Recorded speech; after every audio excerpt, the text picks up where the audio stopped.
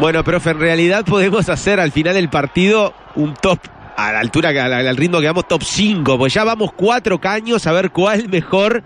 Y este de la Este Quintana fue fue, muy bueno, eh, Este, este fue fue muy bueno. Pero todavía el de cantera no, no se lo saca nadie. Ah, pero, pero este tiene la incidencia de que es caño con, con falta y tiro libre, ¿no? Se viene el tiro libre, viene Méndez buscando el primero Peñarol, pasa la pelota, le pegó Rago. ¡Gol!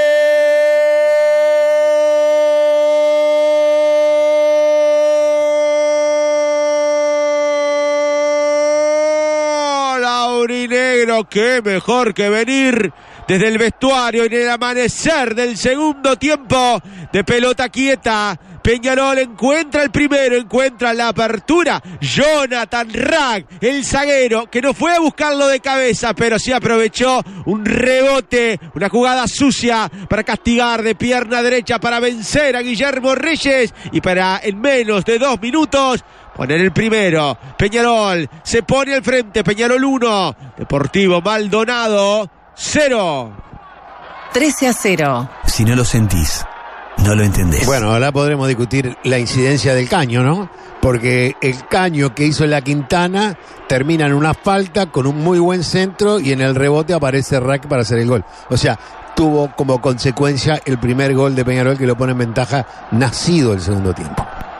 La sabiduría del profesor, el beso en el escudo de Jonathan Rack en reiteradas ocasiones, momento del chequeo bar del gol, del gol, veremos si lo convalida o no Leodán González. Bueno, por arriba lo va a buscar Deportivo Maldonado, cantera para darle esa pelota.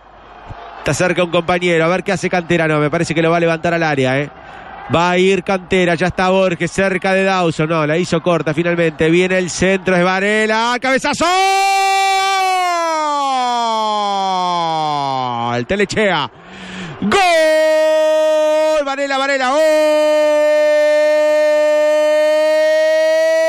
De Deportivo Maldonado. Señoras, señores, sorteando todos los radares. Llegó Joaquín Varela tras el centro, desde la punta izquierda, primereando a toda la defensa urinegra y cuando no asomaba por ningún lado. El gol Fernandino, llegó Varela para ganar en el primer palo, quedó petrificado Kevin Dawson.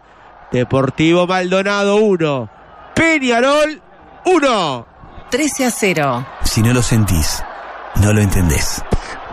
Eh, Hacía unos minutos nada más que, que habíamos comentado de que no, no este Deportivo Maldonado no había pasado la mitad de la cancha.